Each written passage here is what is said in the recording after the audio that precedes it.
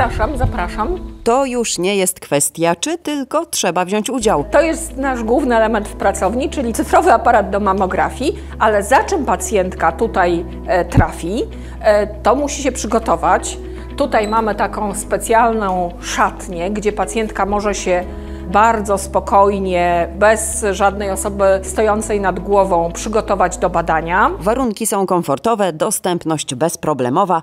Potrzeba jedynie chęci i być może motywacji. Pacjentka wchodzi tutaj na badanie, podchodzi do aparatu e, i to badanie e, zostaje wykonane. Badanie nadzoruje technik elektroradiologii. Pani technik dba o to, żeby pacjentka odpowiednio wykonała badanie, żeby ono było odpowiednio czytelne, żeby nie przegapić tutaj żadnej zmiany nowotworowej, jeżeli e, taka się w naszej piersi kryje. W Ostrudzie 3 lutego będą miały miejsce badania mamograficzne i cytologiczne w ramach Światowego Dnia Walki z Rakiem. Na badanie zaprasza się panie w wieku 50-69 lat. Pracownia mieści się przy ulicy Kościuszki 2 w budynku Ostruckiej Przychodni. Akcja odbędzie się w najbliższy piątek w godzinach 10-14. I co może budzić wątpliwości, już je rozwiewamy. Wizyta ta i badanie nie kosztują nic. Nic nie dokucza, nas to nie dotyczy, ale na pewno Dzięki tym badaniom udało się uratować życie niejednej kobiecie. Badanie mammograficzne składa się z czterech zdjęć wykonywanych w dwóch projekcjach. I jeżeli uważam, że zdjęcie jest wykonane dobrze technicznie, wtedy badanie kończymy. Trwa ono około 5 minut, więc te 5 minut dla naszego zdrowia to wydaje mi się bardzo ważne, a bardzo krótki czas, tak? I wtedy to zdjęcie y, jest przeglądane przez naszych lekarzy radiologów, oceniane pod względem już diagnostycznym. Badanie mammograficzne polega też na współpracy naszej z pacjentem, żeby ładne uzyskać zdjęcia i nasze z radiologiem, żeby jak najwięcej informacji przekazać o stanie faktycznym na przykład pacjentki, tak? Bo nieraz mogą być wycieki z piersi, dodatkowe brodawki skórne. To wszystko trzeba przekazać, bo lekarz widzi tylko zdjęcia, nie widzi pacjentki, to my widzimy i to też jest bardzo ważne. Bardzo wiele kobiet boi się tego badania, uważa, że ono jest e, niekomfortowe, może się trochę wstydzi. E, naprawdę mamy zachowaną całkowitą dyskrecję. Nikt tutaj nie będzie, e, nie wiem, naśmiewał się, że ktoś ma biust duży albo mały. Nikt właściwie tego biustu oprócz tutaj asystującego technika nie ogląda, więc naprawdę jest duża prywatność no badanie nie jest, nie jest inwazyjne. Generalnie rzecz biorąc, wykrywa, ma, mamy szansę wykryć raka w bardzo wczesnym stadium. E, w tak wczesnym, że choroba może być całkowicie wyleczona, nie zagraża naszemu życiu. Więc e, no, dla mnie takie sytuacje, kiedy kobieta boi się wykonać mammografię, są zupełnie niezrozumiałe. Badania przesiewowe mammograficzne wykonujemy od 50 roku życia. Natomiast w jakichś konkretnych przypadkach, na przykład w sytuacji, kiedy pacjentka e, pochodzi z rodziny, w której występowały zachorowania na raka piersi, to badanie może być wykonane wcześniej. E, oczywiście na zlecenie lekarza, takie badanie jest wykonywane u pacjentek od 40 roku życia. Czasem nawet jeżeli e, sytuacja kliniczna e, wskazuje, że ta mamografia powinna być wykonana, mogą mamografię zrobić również kobiety młodsze. Kobiety, proszę Was, badajmy się. Tu chodzi o nasze życie. Możemy wygrać zdrowie i życie, jeżeli będziemy regularnie się badać, regularnie wykonywać badania mammograficzne. Pamiątki po II wojnie światowej wciąż leżą w ziemi. W miniony piątek operator koparki podczas prac ziemnych wykopał drewnianą skrzynkę, z której wypadło 30 pocisków młodzieżowych. Do znaleziska doszło na terenie Parku Krajobrazowego Puszczy Romińskiej. Dzień wcześniej kolejny niewybuch, tym razem znaleziony na terenie leśnym w Pogorzeli, a 13 stycznia jeszcze jeden na granicy polsko-rosyjskiej znaleziony przez Straż Graniczną z Braniewa. Wszystkie niewybuchy zostały zdetonowane. Służby mundurowe przypominają, niewybuchów nie należy dotykać, miejsce znaleziska zabezpieczyć i powiadomić policję.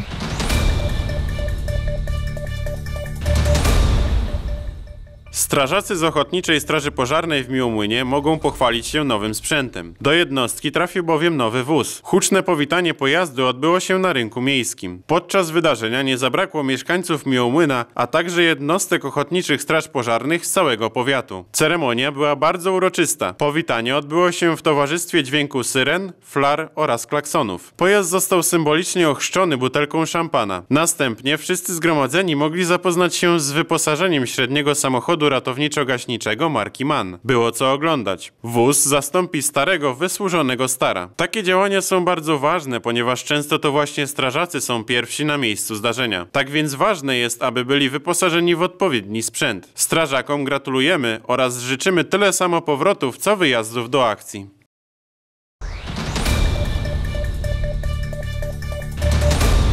Zmiany dla zarabiających na wynajmie mieszkania. Wraz z 2023 rokiem wynajmujący mieszkanie poza działalnością gospodarczą, czyli na zasadzie tak zwanego najmu prywatnego, będą mogli płacić jedynie zryczałtowany podatek dochodowy. On wynosi 8,5% e, od przychodu, natomiast e, do kwoty 100 tysięcy złotych. Powyżej kwoty 100 tysięcy złotych ta stawka e, podatku wynosi 12,5%. W ubiegłym roku podatnicy zarabiający na najmie prywatnym mogli rozliczać podatek również na zasadach ogólnych, czyli według skali podatkowej. Teraz to się zmieniło. Podatnicy powinni pamiętać, że prowadzą uproszczoną ewidencję, czyli e, w której ewidencjonują przychód e, uzyskany z tego najmu, że po zakończeniu roku muszą złożyć zeznanie podatkowe PIT-28, że muszą wpłacać zaliczki na podatek dochodowy do 20 po zakończeniu miesiąca. Ryczałt jest atrakcyjną formą opodatkowania w przypadku, gdy zarabiający na wynajmie ponosi niskie koszty najmu. W przeciwnym wypadku korzystnie jest rozliczać się według skali podatkowej. Różny jest też wymiar podatków.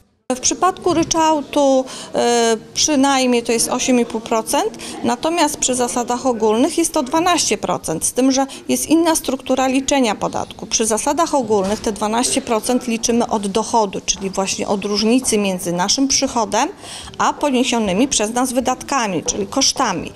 E, natomiast przy ryczałcie ta stawka 8,5%, ona jest niższa, ale jest liczona od przychodu i koszty tutaj nie mają znaczenia, nie ma również znaczenia to, czy ja poniosłem na przykład w danym miesiącu stratę. Podatek te 8,5% i tak muszę od przychodu zapłacić. Natomiast w przypadku zasad ogólnych, e, jeśli poniosłem stratę, to tego podatku po prostu nie płacę. Za rok 2022 podatnicy mogą wybrać, czy rok 2022 rozliczą na zasadzie ryczałtu, czy zasad ogólnych. Można przejść z zadeklarowanego na początku 2022 roku ryczałtu na zasady ogólne, lecz nie odwrotnie. Jeśli chcę wybrać y, zasady ogólne, to po prostu składam zeznanie roczne PIT-36. Jeśli ryczałt, to zeznanie PIT-28. Termin na rozliczenie się z fiskusem rozpoczyna się 15 lutego, a mija 2 maja bieżącego roku.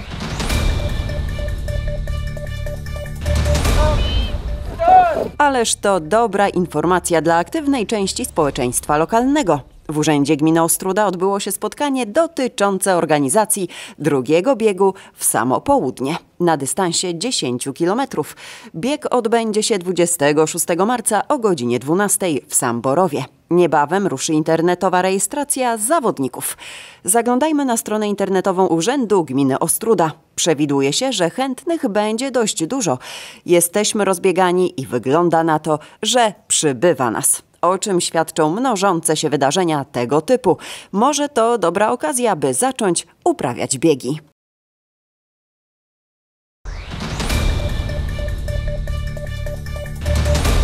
Urząd Statystyczny w Olsztynie podał główne wskaźniki sytuacji społeczno-gospodarczej w województwie warmińsko-mazurskim w 2022 roku. Wiele wskaźników się poprawiło. E, na rynku pracy przeciętne e, zatrudnienie w sektorze przedsiębiorstw, w podmiotach zatrudniających e, powyżej 9 osób wzrosło. Ono wyniosło 139,6 tysięcy osób i wzrosło około 2,4% w stosunku do poprzedniego roku. Największy przyrost zatrudnienia zanotowano w podmiotach prowadzących działalność techniczną, magazynową, transportową, w hotelarstwie i gastronomii. W większości tych branż wzrosło też przeciętne miesięczne wynagrodzenie. W 2022 roku wyniosło 5332 zł i było o 10% wyższe niż rok wcześniej. Liczba bezrobotnych zarejestrowanych w powiatowych urzędach pracy wyniosła w grudniu około 41 100 osób i była niższa o 3,5% niż w 2021 roku. Stopa bezrobocia wyniosła 8,7%. W gospodarce zanotowano e, przyrost produkcji sprzedanej przemysłu około 6,5%, przyrost produkcji budowlano-montażowej około 15%, e, nastąpił przyrost sprzedaży detalicznej o 8,7%. Rosły, zwłaszcza w trzecim kwartale, również ceny i to nie brzmi już tak optymistycznie. Przyrost cen w województwie 15,6%. E, Wiemy, że na koniec roku w Polsce e, inflacja wyniosła 14,4%. O około 1 trzecią wzrosła liczba mieszkań oddanych do użytkowania. W ubiegłym roku było ich 7792. Na koniec roku w rejestrze REGON zarejestrowane były około 144 tysiące podmiotów gospodarczych i to też było więcej niż rok wcześniej, o jakieś 2,3%. Niepokoić może wzrost liczby podmiotów, które zawiesiły działalność gospodarczą. Spadek wynosi około 1 piątą w stosunku do 2021 roku. Jeszcze na koniec 2021 roku było to 17,2 tysiąca, teraz e, koniec roku 2022 już mamy 20 tysięcy e, podmiotów z zawieszoną działalnością. O 3,7% spadła liczba nowo zarejestrowanych podmiotów, a o 1,1% więcej niż w 2021 roku zarejestrowano przypadków likwidacji działalności gospodarczej.